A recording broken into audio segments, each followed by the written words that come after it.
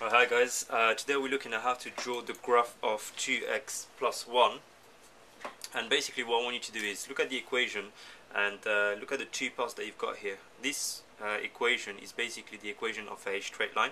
It's made up of two parts. This part here where you've got the 2x and that part there which is the plus 1.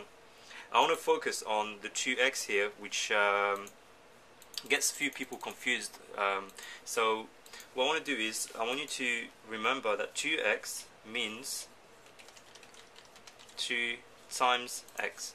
And x is called a variable. So uh, what I mean by a variable is that I can just uh, replace it with uh, any numbers and I can get my answer. So let me show you what I mean by that yeah? So 2x plus 1 means 2 times x plus 1 so I can replace the x with any number that I like. So what I can do is set up a table and what I'll do is I'm going to write the value of x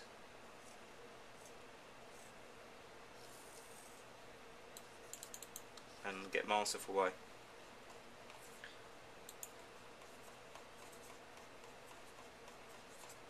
Alright, now you'll notice that I've started uh, 0 in the middle and I've got 1, 2, 3 on that side and minus 1, minus 2.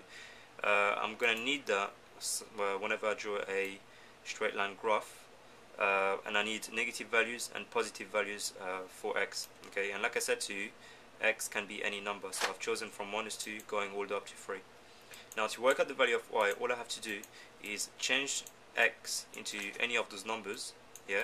Add plus 1 to it and then get my um, get my answer for y. My advice is you always start with 0 uh, 1, 2 and 3 the positive numbers uh, and then you can sort of work out a pattern. So I'm going to do y is equal to 2 times 0 plus 1 so that gives me 2 times 0 is 0 plus 1 that's equal to 1 so that number here is 1 if I do it for x is equal to 1 so that's when x equal to 0 if I do it for when x is equal to 1 I get y is equal to 2 times 1 plus 1 so that's equal to 2 plus 1 which is equal to 3 so here I've got 3 and all you need to do is do it for three values for x so 0 1 2 and then you'll see a pattern.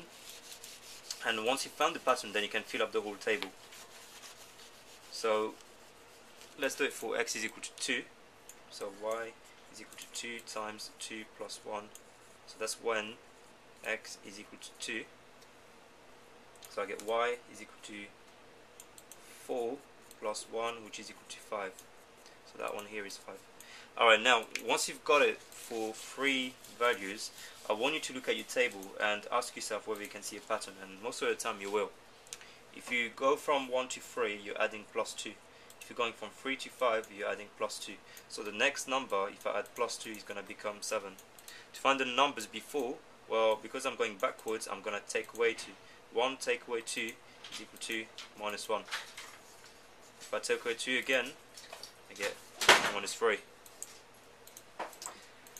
Okay, so that's the table done. Now we're going to go ahead and draw the graph for this equation using the table that I've worked out here.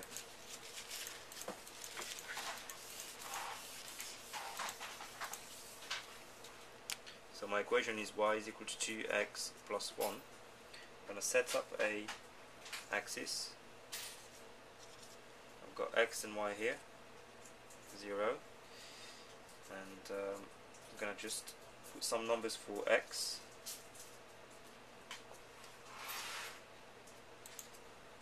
One, two, three, minus one, minus two, minus one, minus two, minus three, two, three.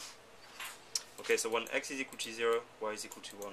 So x is here, y is here. When x is equal to 0, y is equal to 1, so there's my first cross.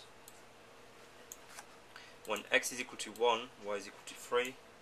So when x is equal to 1, y is equal to 3. So that's there. Um, when x is equal to 2, y is equal to 5. So when x is equal to 2, y is equal to 5. That's beyond my axis here, so I can't draw it. So let's do ones uh, from before. When x is equal to minus 1, y is equal to minus 1. So when x is equal to minus 1, y is equal to minus 1, that goes right here. And once you've got three points, you can just join them up and draw your line. You don't have to do every single one of them. As long as you have three, then you're alright. So take a ruler and just join your three points and you have a straight line. And finally, you can just label it as 2x plus 1 and job done. And can you also make sure you press the like button after watching this video. Thank you.